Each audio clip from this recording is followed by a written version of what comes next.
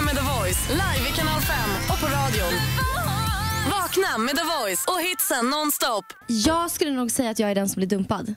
För att jag, jag är en sån här, är det så är det. Så ifall man dejtar folk till exempel och jag tappar intresset, då är jag en sån här jobbig person som bara, det rinner ut i sanden. Aha. Du klabbrar inte fast? Nej, men jag kan inte, det här att du vet att vi ska ha ett snack, Nähä. det är jag ingen vidare bra på. Vad menar du då? Att då skiter du i snacket och till Nej men det slut så är blir det lite så så här, det bara blir Tog lite, hon ja, jag har inte riktigt tid den här veckan och så bara försvinner det. och så Liksom. är det slut. Ja. Du flyr. Jag flyr. Jag är en tönt. Jag vet. Men Mesig jag tänker med man gör det känslor. till en så stor grej om man ska ha snacket för då är det som att det är mer än det är.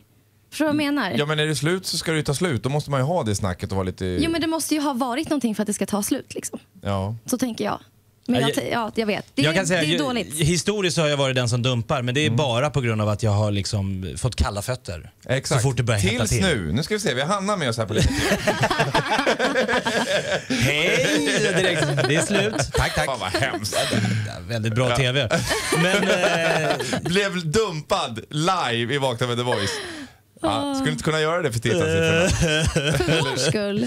Nej men så att, eh, och det är, ju, det är ju, jag tror det är lika jobbigt att dumpa som att bli dumpad. Mm. Alltså det är ju psykiskt jävligt knäckande att känna att det här funkar inte. Nej. Jag måste göra något. Såklart. Och så märker man att den ena tror att det här bygger vi på. Mm. Eh, såklart lika jobbigt att dump, bli dumpad. Eller kanske ännu värre, eller? Det beror på hur man blir dumpad. Ja det är klart. Jag har ju bara träffat toppenkillar så att jag har ju varit med om eh, de vidrigaste dumpningarna ever liksom. På vilket sätt då? Eh, Ever? Ja, man kan ju låter- tycka till exempel att innan man träffar sin nya flickvän kanske man ska göra, slut med den gamla. Med den gamla. Ja. Men det där är ju jävligt svårt, det är ju lätt att säga.